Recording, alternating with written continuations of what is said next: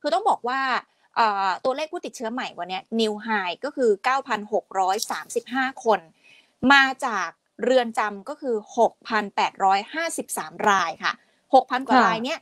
มาจาก 3 เรือนจำนะคะคุณผู้ชมก็คือเรือนจำกลางคลองเปรม 6,749 ราย เรือนจำนนทบุรี 48 ราย เรือนจำฉะเชิงเซา22 ราย เรือนจำเชียงใหม่อันนี้มากสุดเลย 3,929 รายค่ะ ซึ่งกระทรวงยุติธรรมเนี่ยเขาบอกว่าการตรวจค้น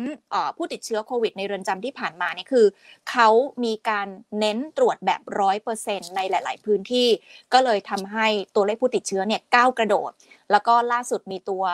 มีข้อมูลเนี่ยนะคะว่าพบผู้ติดเชื้อทั้งหมด 12 เรือนจำด้วยกันนะคะคุณผู้ชม 12 เรือนจำอันดับหนึ่งนะคะก็คือเรือนจำกลางเชียงใหม่เนี่ยพบว่าติดเชื้อ 3,929 คนจากผู้ต้องขังทั้งหมด 6,469 คนก็คือเป็นตัวเลขที่ส่งมาให้สบคแล้วก็สบคเอามารายงานวันนี้นี่แหละนะคะก็คือมาจากเรือนจำกลางเชียงใหม่ อันดับ 2 คือเรือนจำพิเศษกรุงเทพค่ะติดเชื้อแล้ว 1,960 คน อันดับที่ 3 เรือนจำพิเศษธนบุรีติดเชื้อแล้ว 1,725 คน อันดับ 4 ทันสถานหญิงกลาง และอันดับ 5 ก็คือเรือนจำกลางคลองเปรมนะคะ อันนี้คือเป็นข้อมูลว่าอะ12 ที่ทั่วประเทศเนี่ยมันมีที่ไหนบ้างคุณผู้ชมสามารถ อ่านจากหน้าจอตรงนี้ได้เลยนะคะ ทีนี้เรามีสิ่งที่ต้องจับตาก็คือเรือนจำนนทบุรีค่ะ เพราะว่า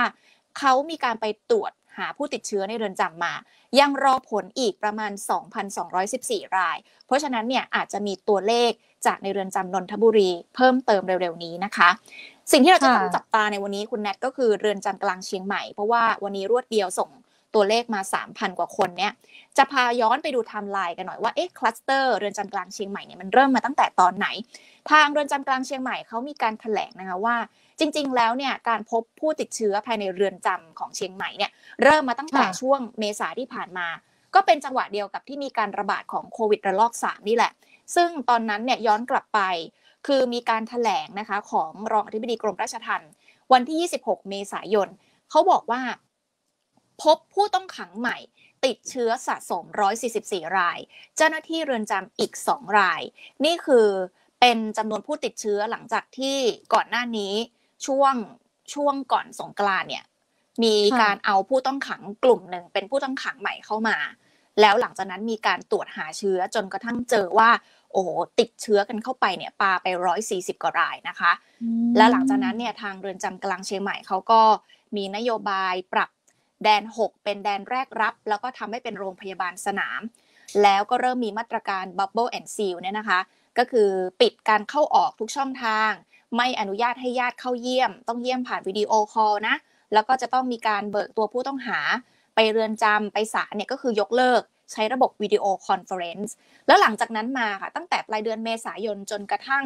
พฤษภาคมก็พบผู้ต้องขังเนี่ยติดเชื้อวันละหลักร้อยหลัก 200 มาเรื่อย จนกระทั่งวันที่ 14 พฤษภาคมนะคุณแนท14 พฤษภาคมเนี่ยพบผู้ติดเชื้อวันเดียวบวกขึ้นมานะคะ แล้วก็ทำให้มีสะสมถึง 3,000 กว่าราย จนกระทั่งวันนี้ 17 พฤษภาคมเนี่ยแหละ ที่มีตัวเลขไปที่สบคว่าพบผู้ติดเชื้อจากเรือนจำกลางเชียงใหม่ กลายเป็น 3,929 คนแล้วนะคะโอ้โหเป็นตัวเลขที่เยอะเยอะที่สุดแล้วในบรรดาเรือนจำทั้งหมดในประเทศไทย ทางผู้ว่าเชียงใหม่ค่ะ คุณเจริญฤทธิ์สงวนสัตว์ได้ถแถลงเขาก็บอกว่าที่ผ่านมาเขาก็มีการควบคุมมาตรการใช้ Bubble and Seal เนี่ยแล้วก็อยู่ในสถานการณ์ที่ควบคุมได้แล้วนะแต่ว่าอาจจะมีตัวเลขเพิ่มขึ้นมาบ้าง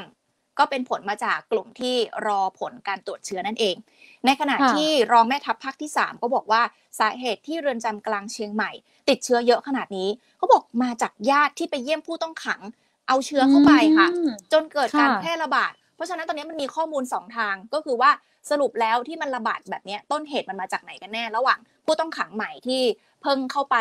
ในเรือนจำเมื่อช่วงสงกรานหรือมาจากญาติที่ไปเยี่ยมผู้ต้องขังกันแน่ นะคะขณะเดียวกันเนี่ยทางอธิบดีกรมราชทัณฑ์ก็นำทีมแถลงเกี่ยวกับการตรวจโควิดในเรือนจำทั่วประเทศนะคะ ที่ตัวเลขมันก้าวกระโดดแบบนี้ เพราะว่าเขาพยายามที่จะตรวจเชิงรุกให้ได้มากที่สุด คือในช่วง 3-4 วันที่ผ่านมาเนี่ยคือตรวจเยอะมาก แล้วทางกรมราชทัณฑ์เขาก็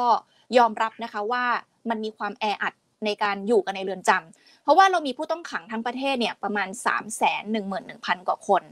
แล้วอยู่กันอย่างแออัด นะคะ บวกกับช่วงที่ผ่านมาเนี่ย มันก็มีการเข้าเข้าออกออกใช่ไหมมีผู้ต้องขังใหม่เข้ามาอยู่เรื่อยๆ มันก็มีโอกาสที่เชื้อเนี่ยมันจะเข้ามา แต่เขาเนี่ยก็ไม่เออเขาเรียกอะไรนะ ไม่ปล่อยเอาไว้อะคือที่ผ่านมาเขาก็มีความพยายามที่จะตรวจเชิงรุกนะ โดยเฉพาะจุดที่มีผู้ต้องขังอยู่เป็นจำนวนมากอย่างในเรือนจำในกรทมเนี่ย พยายามสวอปทุกๆเจ็ดวัน สวอปแบบร้อยเปอร์เซ็นต์เลยนะคุณแนท อ่าแล้วก็ใครที่ตรวจหาเชื้อเจอเนี่ยเขาก็จะแยกออกมามารักษาให้ดีจนกว่าจะหาย เขาก็ยอมรับว่าที่ผ่านมาเขาก็พยายามอย่างเต็มที่แล้ว แต่ว่าผู้ต้องขังเนี่ยมันมีเยอะจริง ๆ แต่ว่าตอนนี้เขาปรับใหม่แล้วนะก็คือ เรื่องของมาตรการ Bubble and Seal ไม่อนุญาตให้เข้าเยี่ยม หรือว่าควบคุมทุกอย่างอะ่ะเพื่อไม่ให้มีตัวเลขผู้ติดเชื้อเพิ่มเติม ทีนี้ ถ้าคุณผู้ชมจำได้คุณแนทจำได้ย้อนกลับไปก็คือหนึ่งในแกนนำคณะรัษฎรนะคะที่ออกมาจากทันตสถานหญิงกลางเมื่อ 6 พฤษภาคมนะคะคุณรุ้งปนัสยา เธอเนี่ยออกมาไม่กี่วันก็พบว่าติดเชื้อโควิด แล้วหลังจากนั้นก็มีตัวเลขจากเรือนจำว่ามีผู้ต้องขังติดโควิดเนี่ยมาอย่างต่อเนื่องไม่เว้นแต่ละวันเลย ล่าสุดเนี่ยคุณรุ้งมีการโพสต์ Facebook ค่ะคือเขาบอกว่าเร็วๆนี้เนี่ยคือเธอได้ทราบว่า ในแดนแรกรับของทันตสถานหญิงกลาง มีผู้ติดเชื้อโควิดแล้วกว่า 100 ราย ซึ่งก่อนหน้านั้นกรมราชทัณฑ์ก็บอกว่าไม่มีผู้ติดเชื้อในแดนแรกรับนะอ่าและเธอก็บอกเลยว่า ผู้ต้องขังที่อยู่ในเรือนนอนอในแดนแรกรับเนี่ยจริง ๆ แล้วมีการติดเชื้อแล้วเขาก็ อยู่กันแบบยากลำบากใช้ชีวิตยากลำบาก เธอก็เลยขอตั้งคำถามไปยังกรมราชทัณฑ์ว่า ข้อมูลเหล่านี้มันจริงหรือเปล่า และพวกคุณมีแผนที่จะดูแลผู้ต้องขังยังไงในสถานการณ์แบบนี้ ขอให้กรมราชทัณฑ์พูดความจริงไม่ปิดบังข้อมูลนะคะ ทีนี้มันก็สอดคล้องไปยังอีกท่านหนึ่งที่ก็มีการโพสต์ Facebook เหมือนกันนะคะ ก็คือคุณชัดชาติสิทธิพันธ์อันนี้เป็นโพสต์ของคุณรุ้งนะคะ นี่ทีมงานเอามาขึ้นให้ดูเนี่ยเธอก็เพิ่งตั้งคำถามเพิ่งโพสต์ในวันนี้ อีกคนนึงค่ะ เพิ่งโพสต์วันนี้เหมือนกันก็คืออ่าแคนดิเดตนะคะ ผู้สมัครผู้ว่าราชการกรุงเทพมหานคร อ่าใช่ คุณชัชชาติสิทธิพันธุ์โพสต์เฟซบุ๊กตั้งข้อสงสัยเกี่ยวกับงบประมาณในการเอาไปป้องกันการระบาดโควิดในเรือนจำว่าเอ๊ะมันน้อยไปหรือเปล่า คืออย่างที่เราคุยกันเมื่อสัปดาห์ที่แล้วคุณแนทจำได้ใช่ไหมเขาบอกว่า 140 กว่าแห่งทั่วประเทศเนี่ยมีงบประมาณสำหรับเอาไปใช้ป้องกันโควิดแค่ 750,000 บาท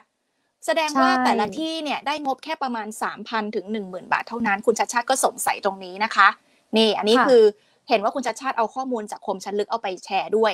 แล้วก็สุดท้ายค่ะ มีข้อเสนอจากทางพรรคเพื่อไทย ห่วงว่าคลัสเตอร์ในเดือนจำเนี่ยมันจะบานปลาย คือเขามีการถแถลงตั้งโต๊ะวันนี้ มีข้อเสนอว่าจะลดการระบาดในเรือนจำยังไง ข้อแรกค่ะว่าเอ๊ะอาจจะต้องแยกกลุ่มนักโทษผู้สูงอายุผู้ป่วย ติดกำไร EM แล้วปล่อยตัวชั่วคราวไปก่อนไหมโดยยังคงมีทันบนอยู่ ข้อ 2 คือให้สร้างโรงพยาบาลสนามสำหรับผู้ต้องขังในพื้นที่ทหาร ที่มีการดูแลเข้มงวดอะเผื่อกันคนหลบหนีอะไรแบบนี้ แล้วข้อที่สามคือจะต้องชดใช้ค่าเสียหายอย่างเท่าเทียมหากว่าพบว่ามีผู้ต้องขังเสียชีวิตจากการติดเชื้อโควิดในเรือนจำไม่ให้มันต่างจากคนทั่วไป เนี่ยเอามายำรวมกันให้คุณผู้ชมได้เห็นในทุกมุมนะคะ ว่าการระบาดในเรือนจำทั่วประเทศตอนนี้ น่าเป็นห่วงจริง ๆ ค่ะ แล้วก็มีข้อมูลล่าสุดจากทางด้านของรัฐมนตรีว่าการกระทรวงยุติธรรมด้วยนะคะ คุณสมศักดิ์เทพสุทินเนี่ยท่านก็ออกมาเปิดเผยถึง 10 มาตรการในการที่จะป้องกันการแพร่ระบาดด้วยนะคะ ก็อย่างประเด็นแรกเนี่ยก็ให้ทางเรือนจำเนี่ยต้องแถลงความจริงของจำนวนผู้ต้องขังนะว่า ได้ตรวจเชิงรุกไปแล้วเท่าไหร่นะคะแล้วก็ติดเชื้อเท่าไหร่ อย่างประเด็นต่อมาเนี่ยก็คือต้องแจ้งให้ทราบด้วยว่าจะตรวจเชิงรุกให้ครบทุกเรือนจำรวมถึงเจ้าหน้าที่ด้วย แล้วก็ผู้ต้องขังรวมถึงผู้บริหารระระดับสูงของกรมราชทัณฑ์ด้วยนะคะ แล้วก็อีกประเด็นหนึ่งค่ะก็คือในเรื่องของการสืบข้อเท็จจริง หรือการสืบสวนโรค รวมถึงสาเหตุติดเชื้ออันนี้สำคัญมาก เพราะว่าถ้าเราไม่ทราบสาเหตุเนี่ยเราจะไม่ทราบเลยนะคะว่าการแพร่ระบาดเนี่ยมันมาได้ยังไง แล้วมันหายได้ยังไง แล้วจะแก้ไขป้องกันยังไงนะคะ อีกประเด็นหนึ่งค่ะ คุณปริชคุณผู้ชมก็คือ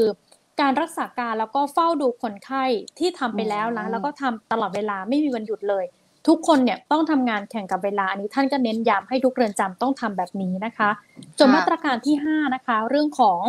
การรักษาแล้วก็ประสานงานกันกับกระทรวงการสาธารณสุข วางเป้าหมาย โดยการใช้ยาฟาวิฟาวิพิราเวียนั่นเองนะคะ